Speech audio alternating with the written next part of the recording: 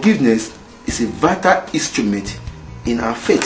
Forgiveness, in the real sense, is not acting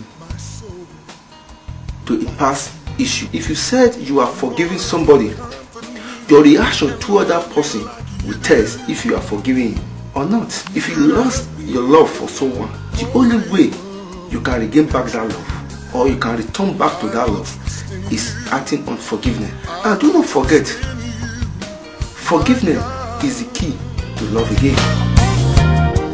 Who can satisfy my soul like you?